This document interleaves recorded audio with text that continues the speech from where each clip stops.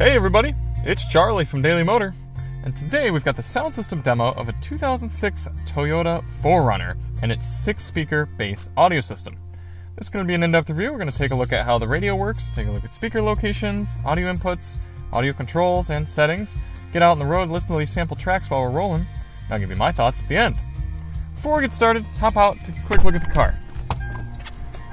Now, those of you who are members of the Topher YouTube channel as well will recognize this because this is the Topher's new Toyota 4Runner.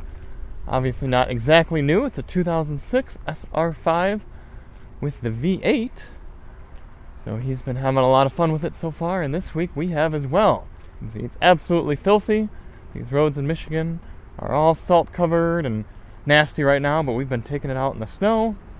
So if you want to see more on the 4Runner, check the links in the description for our full review as well as a highway fuel economy test with these oversized tires and that big front bumper. We typically do this test with lossless uncompressed WAV audio files on a USB stick, but because there's no USB plug for this 2006 system, we are using my phone plugged into an auxiliary input jack. There's still lossless uncompressed WAV audio files, but I will admit there's a possibility of audio uh, adjustments from my phone going into the system. So when we play on a USB stick, there's absolutely no EQ or anything like that. I do have the EQ turned off on my device, but that doesn't mean that there might not still be some sort of audio adjustment going through. We also do the test with sound settings set to their factory defaults, so let's take a look at those now. Just a very basic double DIN radio here. You click on the tune button, you get bass, treble, fader, balance, and automatic sound levelizer, which we're going to have off. Let's go through and demo the bass and treble now.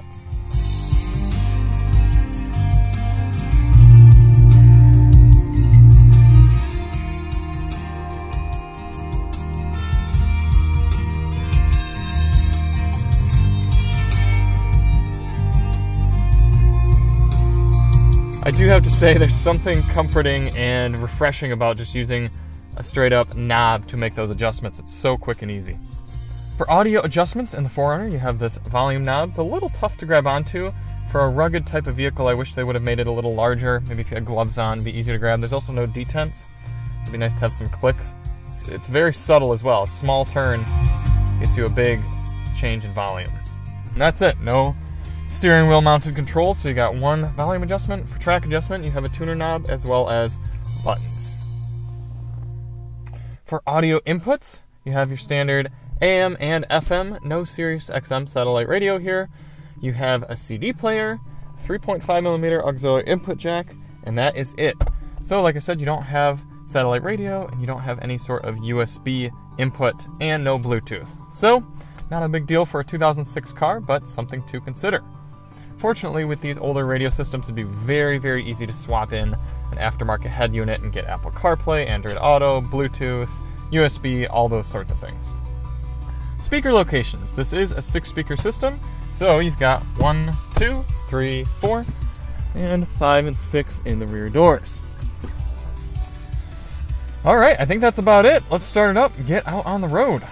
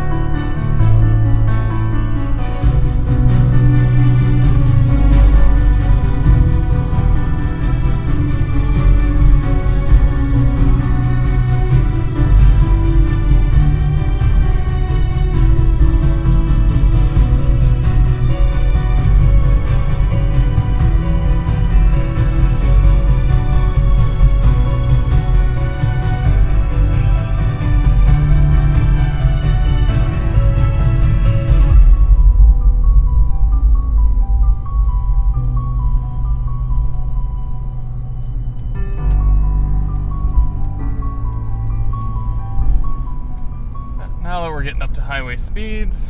Get up to 70 and let you hear what the 4Runner sounds like at 70 miles per hour with these all-terrain tires.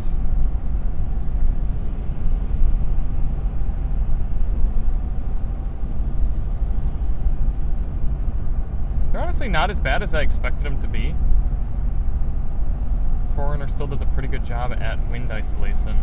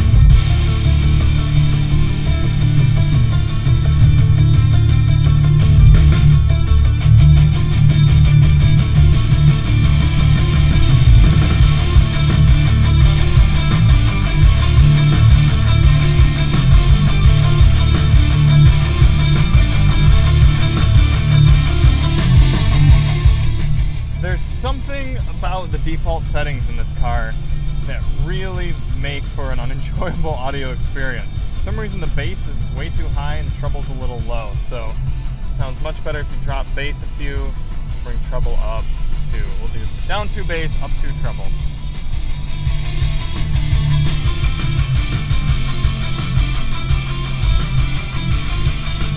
I'd argue you could probably even just go one treble.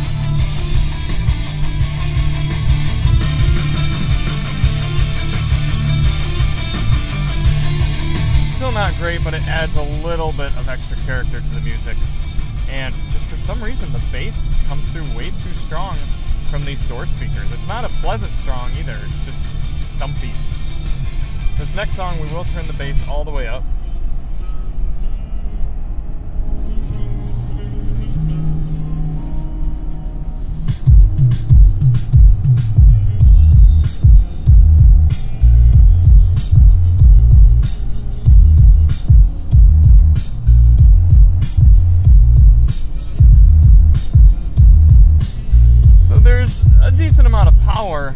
But it's certainly not crisp. very floppy. I am getting a little bit of mirror shakeage though. And it's well tuned to be putting a little bit more power in the rear speakers than the front. So balance is good, but crispness not really there.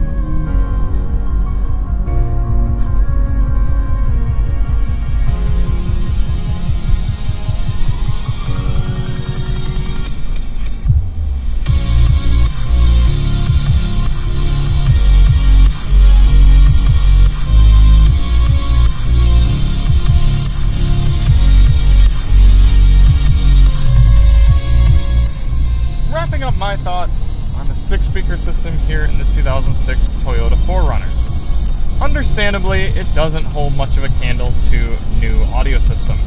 This was a base, rugged, all wheel drive vehicle way back in 2006.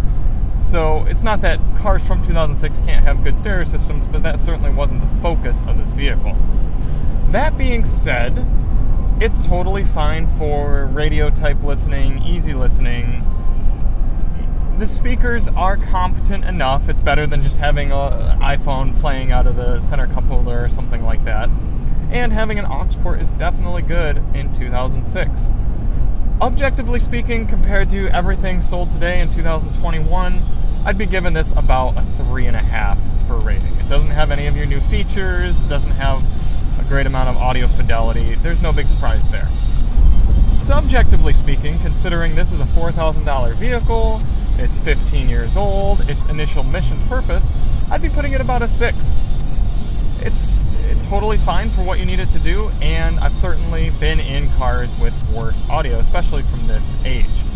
Thank you all so much for watching. If you want to see more on this 2006 4Runner, check the links in the description, and we'll see you on the next one.